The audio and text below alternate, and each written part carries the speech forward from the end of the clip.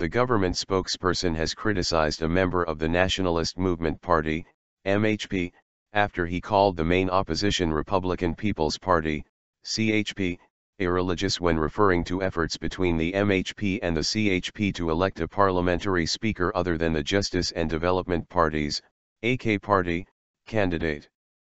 Deputy Prime Minister and government spokesperson Bülent Arınç answered questions from journalists on Wednesday at a press meeting, where he criticized MHP Group Deputy Chairperson Yusuf Halaçoğlu's comments, calling the CHP an irreligious party. Arınç used a phrase, may God protect our minds, suggesting the audacity of Halaçoğlu's comments. Debate began on Monday when CHP's candidate for the post of parliament speaker, Deniz Baykal, claimed that Halaçoğlu met with CHP parliamentary group deputy chairman Levent Gök before the third round of voting in the election, during a live TV interview on CNN Türk.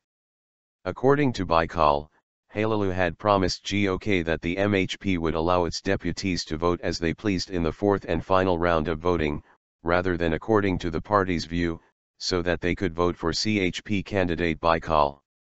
Halaçoğlu held a press conference in Parliament on Tuesday, where he denied CHP candidate Baykal's claims that the MHP had promised to support him in the last round of voting but did not keep its promise.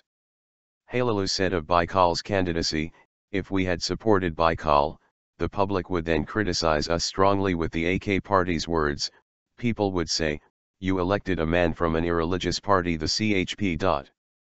Arınç continued, I don't know how such words can escape Halaçoğlu's mouth. Is he guilty of something that he has to say such absurd things against the CHP? Nothing of the sort could ever even cross the mind of any AK party deputy regarding the CHP or its candidate. I don't want to repeat that sentence. I don't know how such phrases come into Halaçoğlu's mind, but I think MHP leader Devlet Bahçeli will take care of the issue, he said.